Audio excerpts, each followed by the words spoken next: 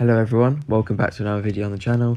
In today's video, I'm going to be showing you how you can access your watch history on YouTube. So you can see here, I'm on YouTube right here. All you're going to have to do is you see I've got all these different menus at the bottom and I've got my profile right here. You're going to want to click on your profile.